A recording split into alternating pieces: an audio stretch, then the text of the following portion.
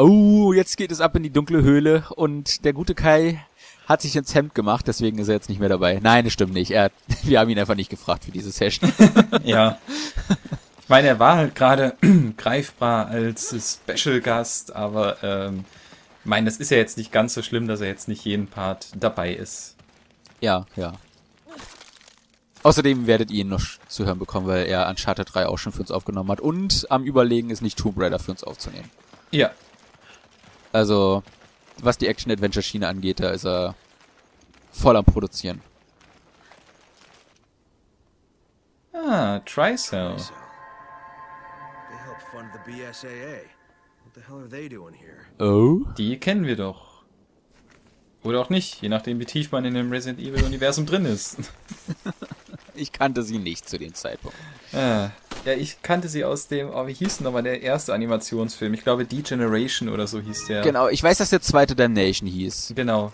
Und der erste muss dann Degeneration gewesen sein, ja. Ah, okay, genau. Und, und da kommt am Ende Tricell auch vor und ähm, erklärt so ein bisschen, woher das dann jetzt hier kommt. Aber ich meine, wirklich wissen muss man es nicht, denn im Endeffekt ist es halt wie am Umbrella, du hast halt einfach so die böse Forschungscorporation, äh, irgendwas und ja, das übliche Ding. Ja, mal öfter was Neues, ne? Ja, ja, Resident Evil hat nie wirklich ähm, sich zumindest im Story-Bereich sich weiterentwickelt. Ich meine, gameplay-technisch hat sich einiges getan, zum Leidwesen vieler.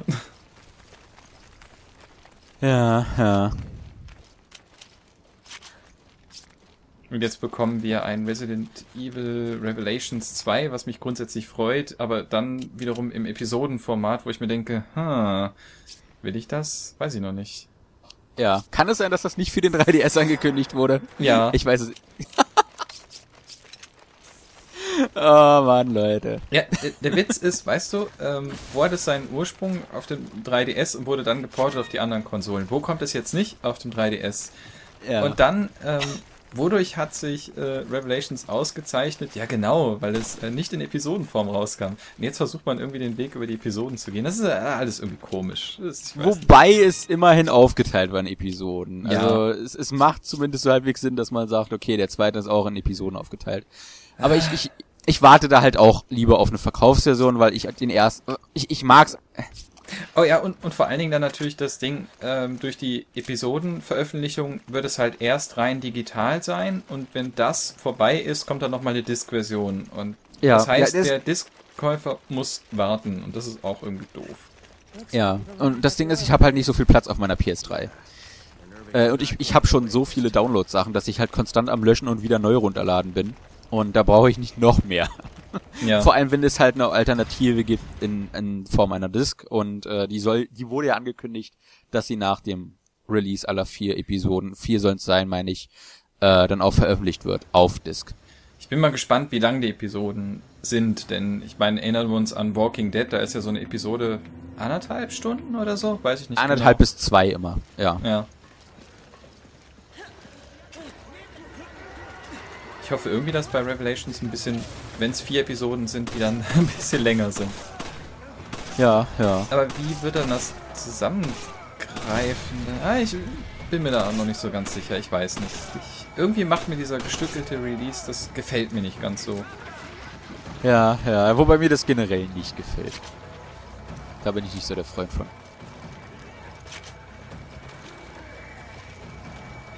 Einzige, was, was mich halt bis jetzt sehr zufrieden stimmt, ist das Setting, die, die Charaktere. Und ich meine, Revelations war jetzt halt in letzter Zeit dann halt doch das bessere Resident Evil, denn der sechste Teil, ja, ist an, gerade in der Chris-Kampagne doch sehr abgewichen von dem Kurs, auf, auf dem er hätte fahren sollen, zumindest ist meiner Meinung nach. Ja. Aber da stehe ich ja nicht alleine und deswegen kommt es ja auch nicht von ungefähr, dass ähm, man gesagt Ja. hat, wir machen jetzt lieber erstmal ein Revelations 2, bevor wir dann das Teil große Franchise ja. fortsetzen. Ja. Oh Mann, Gott, weißt du was? Äh, für unsere Filmkommentare habe ich uns vorgenommen, dass wir auch langsam in, in Spieleverfilmungsterritorium gehen und die Resident Evil Filme in Angriff nehmen. Oh und zwar die Live-Action-Filme. Denn nächstes Jahr, nee Quatsch, 2016 glaube ich, soll die Filmreihe beendet werden. Und der letzte Shot, wer sich erinnert, aus dem letzten Teil, der veröffentlicht wurde, ich weiß nicht mehr, wie der heißt, die haben ja alle ganz bescheuerte Namen, äh, sieht man, wie Wesker und dieses Mädel, ich weiß ihren Namen schon nicht mehr, so, so flach ist die, die, die, die Figur, äh, zusammenarbeiten müssen. und dann im Weißen Haus sitzen und die Welt um das Weiße Haus herum völlig von, von Bestien äh, äh, übersät ist. Und äh, ja, wir, wir werden dazu Kommentare. Oh, ich bin mal gespannt. Also ich habe ja tatsächlich aus irgendeinem seltsamen Gedanken heraus äh, die ersten vier, glaube ich, sogar auf, auf Blu-ray gekauft, wobei ich sie nicht mal gesehen habe.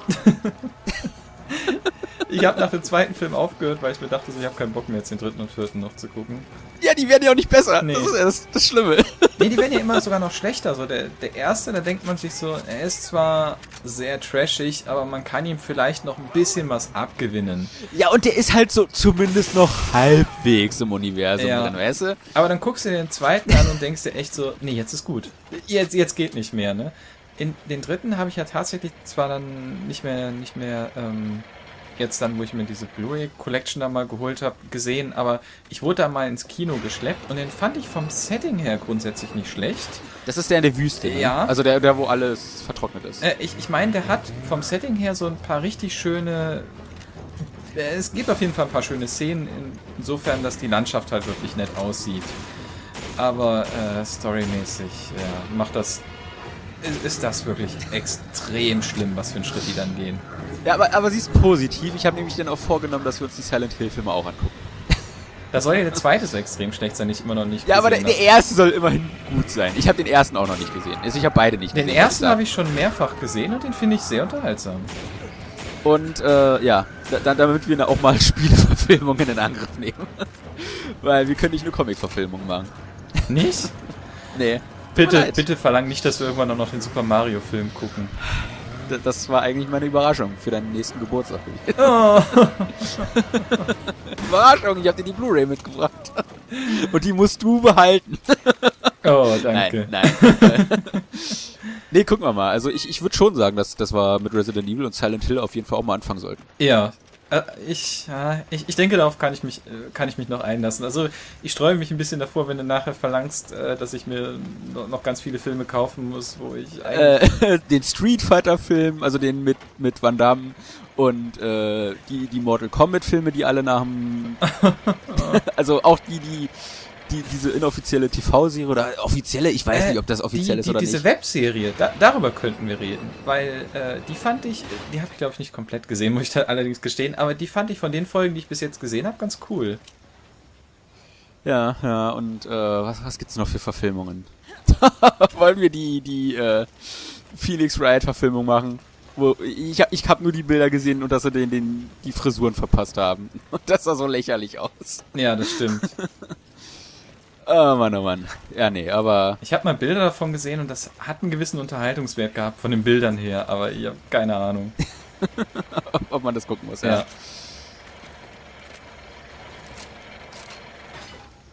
Sterben wir jetzt nicht an der Stelle? Ich weiß, dass die Stelle sehr fies ist.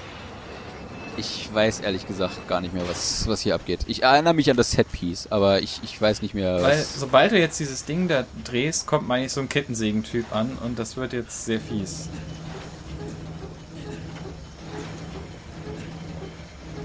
Ja, gucken wir mal.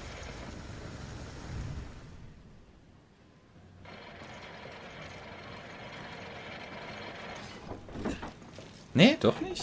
Doch, der kam doch hier, oder? Da, Ah, da war jetzt. doch vorhin schon einer mit Kettensäge. Achso, das, äh, okay. Und der Witz ist, du hängst hier in der Cutscene drin. Ich kann mich hier frei bewegen. ah, das Spiel ist nett. Es lässt dich da vor der Tür zittern in der Cutscene, dass du nicht weg kannst und ich konnte einfach rumgelaufen und die Munition einsammeln.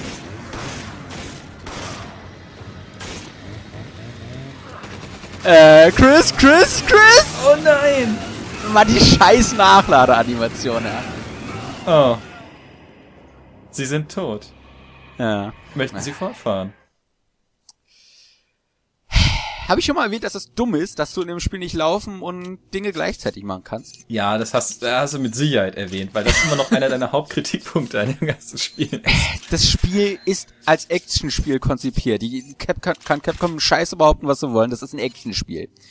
Aber mit einer Survival-Horror-Steuerung. und das geht gar nicht. Und das ist der Grund, weshalb ich das so schrecklich finde, das Spiel. Weil äh, Gameplay und Konzept einfach überhaupt nicht Hand in Hand gehen. Und da war gerade das, das perfekte Beispiel dafür. Ähm, ja, hätte ich Resident Evil 4 gespielt, wäre der Kettensägen-Typ sehr viel langsamer gewesen. Und äh, ich, ich hätte dann nach der Lad Nachladesequenz noch weggehen können. Aber weil dieses Spiel ja äh, schnell und viele Gegner und viel zu starke Gegner haben muss, bin ich gerade gestorben. Mhm. Und ich habe vier vorhin nochmal gespielt tatsächlich. Ich kann das bezeugen, dass die Kettensägen-Leute da auf normal sehr viel langsamer sind als hier. so, ja. aber wir wissen ja, was passiert, also deswegen werden wir jetzt hier triumphierend hervorgehen. Ja, hoffen wir's.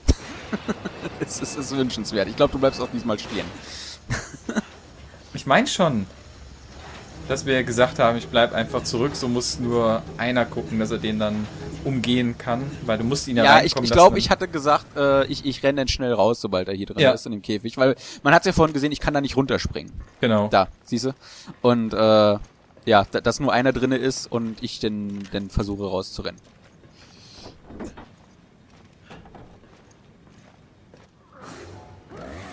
Ist auch witzig, dass die Sequenz bei uns so ein bisschen anders ist und dass du die halt, wie gesagt, voll dir angucken musst.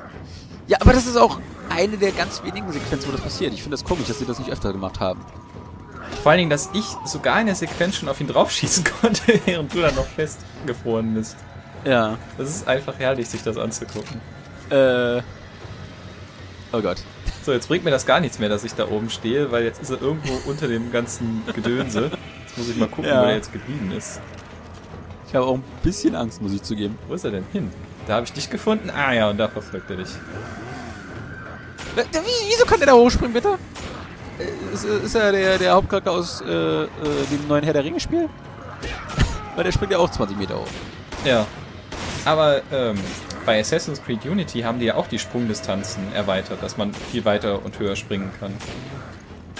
Wirklich? Ja, habe ich äh, gelesen, die wollen damit, dass sich das flüssiger anfühlt, wenn man durch die Stadt klettert, damit jetzt ähm, das halt im Endeffekt noch vereinfacht wurde. Anstatt die Level einfach so zu programmieren, dass das. Naja, okay.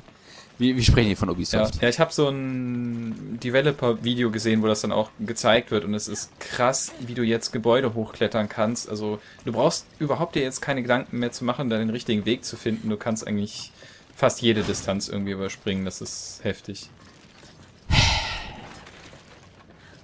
Weißt du, es ist ja nicht so, als, als wäre das, als wäre die Spielreihe nicht schon so einfach genug. Stattdessen, anstatt ein bisschen mehr Challenge reinzubringen, nehmen sie noch mehr Challenge raus. Das, das ist Ubisoft. Ja, das, das nennt sich Streamlining. War das nicht auch letztens, äh, wo hier der Final Fantasy, äh, einer der Final Fantasy... ja, der vom 15, der ja. hat gesagt, wir haben das Kampfsystem vereinfacht. Äh, man muss jetzt nur einen Knopf drücken und der macht alles. Ja, genau. Wo ich mir auch gedacht habe, ja, super, dann, dann brauche ich es eigentlich gar nicht spielen. Ich, ich drücke einfach immer nur den Knopf und dann bin ich automatisch durch. Ja. Das ist, äh, gab es ja nicht bei den Mario-Spielen, dass wenn du fünf oder sechs Mal gestorben bist, dass du dir die Sequenz dann da durchspielen lassen kannst? Ja. Das für Final Fantasy praktisch. Dass die nicht lernen, die Japaner, weißt du? Resident Evil 6, wo wir hier gerade bei der Franchise sind und bevor der Part jetzt hier zu Ende geht. Resident Evil 6 hat perfekt gezeigt, dass wenn man versucht, es allen recht zu machen, das völlig in die Hose geht. Konzentriert euch lieber auf eine Gruppe und äh, versorgt die dann aber richtig. Und dann klappt's auch wieder. Aber gut, das wird jetzt mit Final Fantasy 15. Da sehe ich es nicht, aber da sehe ich es mehr als in nächsten Watch Dogs und im Assassin's Creed Unity 2. Ja. Brotherhood Revelations. Oder The Revelation of the Brotherhood.